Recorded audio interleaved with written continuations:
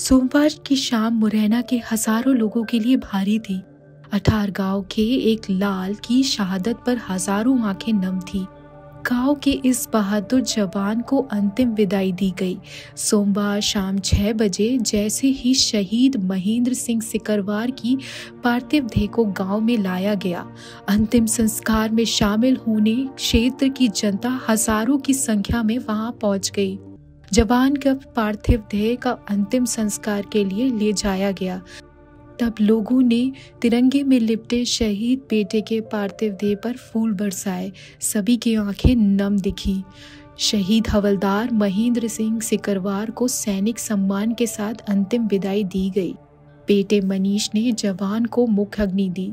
सेना ब्रिगेडियर ने कहा कि हमारी भारतीय सेना ने एक बहादुर सैनिक को खोया है। इस दुर्भाग्यपूर्ण दुर्घटना में वीर गति प्राप्त हुई है। हम भगवान से प्रार्थना करते हैं कि इनकी आत्मा को शांति दे। परिवारजनों को हिम्मत और हौसला दे, जिससे वो इस हानि को सह सकें। शनिवार शाम छह बजे सेना का ट्रक लद्दाख के लेह में दुर्घटनाग्रस्त हो गया था। इस ट्रक में आर्मी के नौ जवानों की मौत हो गई थी। इनमें हवलदार महेंद्र सिंह सिकरवार, उम्र 42 साल, मुरैना के अटार गाँव के रहने वाले थे। वह आर्मी की आर्टिलरी रेजिमेंट में लद्दाख में पदस्थ थे। शनिवार को चालक महेंद्र सिंह सिकरवार अपने टोही दस्ते में शामिल जवान को लेकर लेह से अग्रिम पोस्ट की ओर जा रहे थे। इस बीच वाहन का संतुलन बिगड़ने से वाहन कई सौ फीट गहरी खाई में जा गिरा, जिसमें नौ जवानों सहित महेंद्र सिंह सिकरवार भी शहीद हो गए। अटार गाँव के रहने वाले महेंद्र सिंह सिकरवार के दो बच्चे मनीष उम्र 18 साल और बेटी प्रिया उम्र 17 साल है। वह अपनी माँ के साथ सबलगढ़ में रहते थे। बताया जाता है कि 10 दिन बाद महेंद्र डेढ़ महीने की छुट्टी पर आने वाले थे। इसके साथ ही जनवरी में उनका रिटायरमेंट भी था। चार माह पहले ही महेंद्र के पिता का कैंसर से निधन हुआ था। उनकी माँ का भी पूर्व से ही निधन हो चुका था।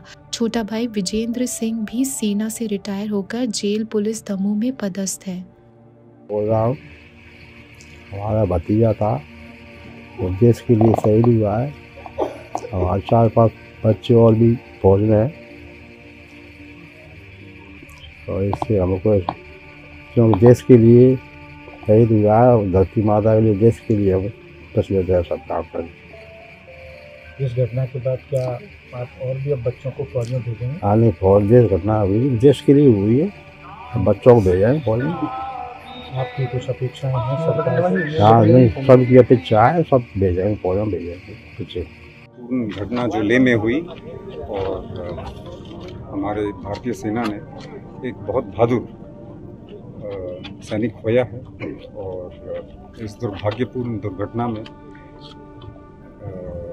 उन्होंने वीरगति प्राप्त किया। और हम भगवान से प्रार्थना करते हैं कि इनकी आत्मा को शांति मिले। और भगवान से ये भी प्रार्थना करते हैं कि इनके परिवार में सभी लोगों, जो जो इनके परिवार में लोग हैं, सबको हिम्मत और हौसला दे ताकि वो ये जो लॉस हुआ है, इसको वो हिम्मत से इसका सामना कर सकें। हम उम्मीद करते हैं कि परिवार वाले सब ये हौसला पाएँ और कि आत्मा की शांति के लिए भी हम प्रार्थना